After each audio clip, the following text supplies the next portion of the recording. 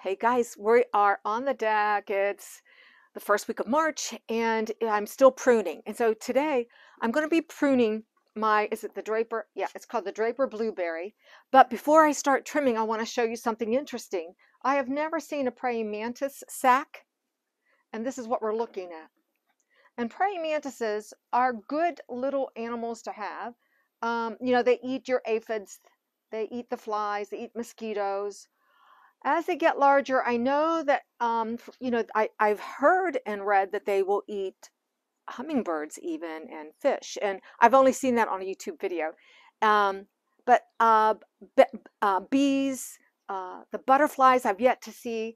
The good news about these um, little praying mantis, if you see them somewhere where you don't like them, you can relocate them. If I didn't want this sac here, I could cut this branch off, which I'm not going to do, and I could put it in another area in the crotch of a tree off of the ground because ants will eat the sac up and let them hatch from there. So we'll watch.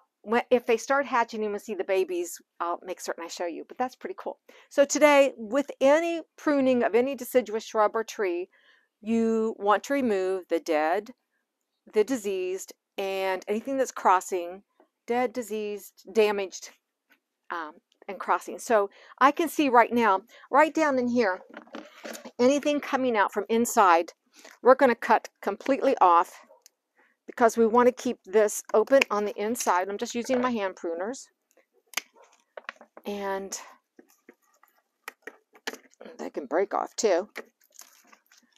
So we'll get this all cleaned out. That has a little growth. That has a little bud on it you want to search around. I've, you know, with a small little blueberry bush like this, and the draper is made for pots, it's easy to maintain. Everything is looking pretty good. Here's a, here's a dead branch right here. Taking it off. Another dead one right. That's crossing. This is crossing. It's not dead, but I'm take. I want this branch. I'm taking this one off. Um, Look at this. There's a little berry left there. Take that off. Anything crossing. I've done pretty well about keeping things on this little shrub cleaned up. Another dead. You can hear how crunchy they are. So this is the time to do it. Here's something crossing over this branch. It's coming right off clean that off. Oh, that wasn't the one I wanted, but it's it'll be all right. Right here's a good example. I'm gonna I'm gonna keep this branch and take this one. And that may I was studying this before we came out. Here's a dead down here. So same here. I'm going to take this one out because it's going to cross. But that's that's how easy it is. You just have to come out, take a look. That one needs to come. And you can see it's starting to bud. I'm going to give it a week or two before I fertilize it. And it loves acid acid, acid fertilizer. So something like Holly-tone or something for azaleas. That's one job off the list. We're going to go down I'm going to uncover the pond today too and then show you how I edge. It's time to get weeding. I edge the edge of the garden, do the first third of my big perennial bed. Uh, I've mentioned before that I do divide my gardens into six, now seven areas. Let me get these out of the way so I don't trip over it or, and no one does. But the pond is thawed out and I want to get this uncovered. And I just use this little netting to cover. It's all about just keeping these big leaves out from the water's edge. So we'll pull these all off. And it should all come into itself and then I'll shake the leaves off of it. Let's get up here to where the Buddha should be. There we go. We had fish years and years ago, and uh, because we get so much runoff and we've had floodwaters, we decided not to put fish back in. They end up in the West Fork. And I find this is just easy. It's coming right off. There we go.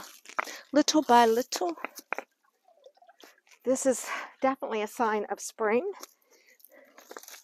So I'm going to lay this out in the yard, let the leaves dry off in the sun, and we'll pack all that away for next fall. I'm going to plug it in and see if it starts. It's possible because the pump itself, you can see the line, it goes up into here, and I'm not sure if that water's frozen up in there or not, but we'll find out.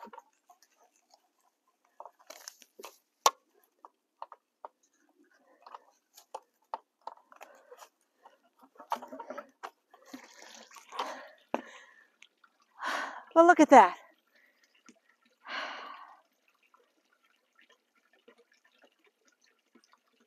I love it. I'll come back and rearrange the rocks.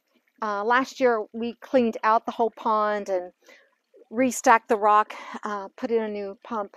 But this is a really easy water feature to have. We used a liner, um, excuse me, just dug a hole. We bought we didn't use a preform and we just bought a liner.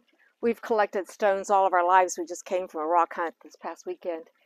And I love how now, you know, it was once stacked perfectly straight. And now the rocks have started to move in as they should. And I love it. I don't want it to look uh, contrived or I don't know what the word is. Anyhow, and the Pachysandra looks beautiful climbing over it.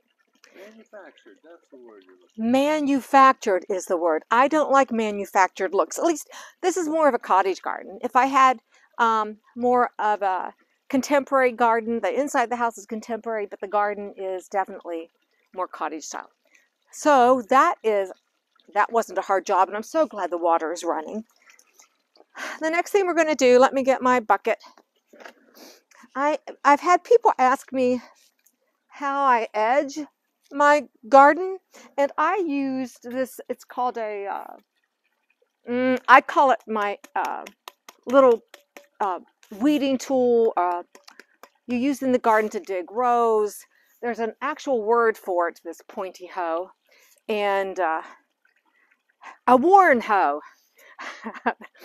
Read the tag. A warren hoe.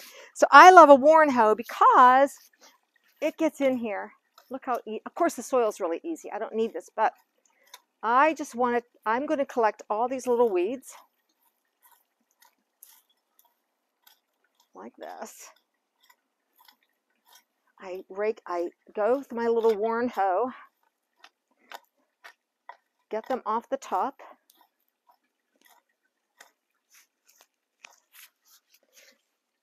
And let me go ahead, get this little spot.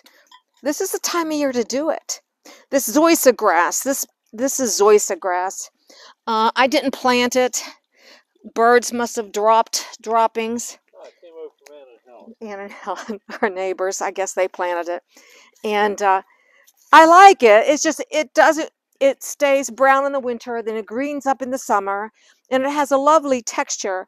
It's just that it creeps into your garden, so you really have to stay on top of it um, and keep it out of the edges of your borders. It's not a big job, truly, but would I plant zoysia? No, not for me. But you can only fight things so long. So then I will go through, rake out the leaves, and not the leaves, rake out the weeds, just like this.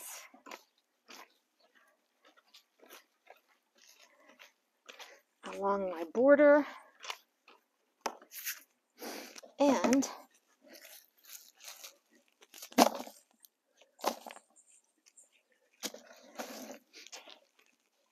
clean that up just like that And then I like to always see the soil loosened, even around the, the edges.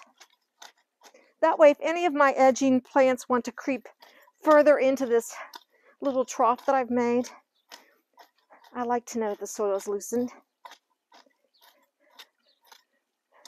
And I will go and do this through the rest of the, the edge of the garden. The other thing I do right now is, I know I brought my hand pruners down. I'm going to cut off the Sedum Autumn Joy. Yep, because it is time.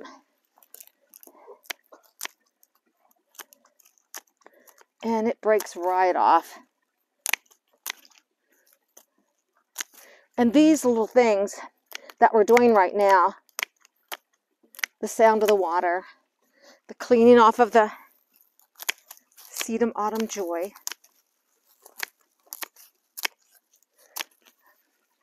are just sounds of new growth.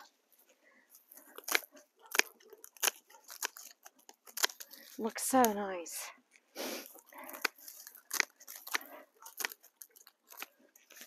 We did have a snow flurry last night around 7. and then 70 degree tomorrow Sunday.